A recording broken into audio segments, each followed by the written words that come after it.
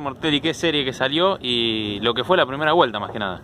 Fue linda, la verdad que fue linda, creo que la, desde la largada fue linda para el espectáculo, una maniobra con, con mucho respeto, este, así que creo que destaco eso, porque me parece que ese tipo de maniobras salen en función de, de, poder, este, de poder brindarnos por el espectáculo, pero con el respeto mutuo de uno al otro.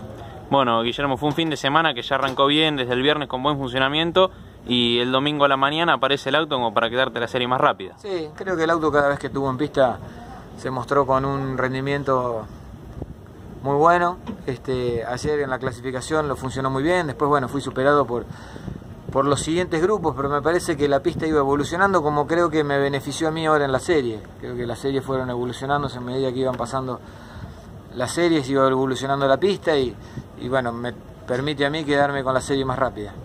¿Cómo se da esa maniobra con Agustín Canapino? ¿Ya la tenías pensada o salió después de que viste el arranque muchas que tuvo? cosas hay que improvisarlas en el momento, ver cómo queda uno posicionado. Y ya te digo, salen porque hay mucho respeto de los dos lados. Bueno, ¿cómo ves para la final? Sobre todo el andar de los dos, que dominaron y bien las dos primeras andan series. Muy bien, andan muy bien, creo que este reglamento, la modificación del reglamento los ha hecho más competitivos.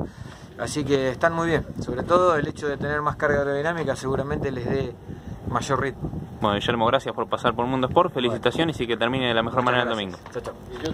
Gracias, Guille.